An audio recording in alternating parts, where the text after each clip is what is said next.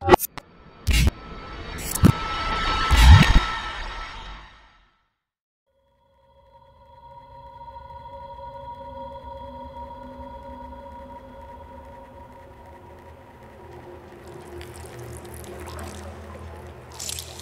shall be able to attend the war. today.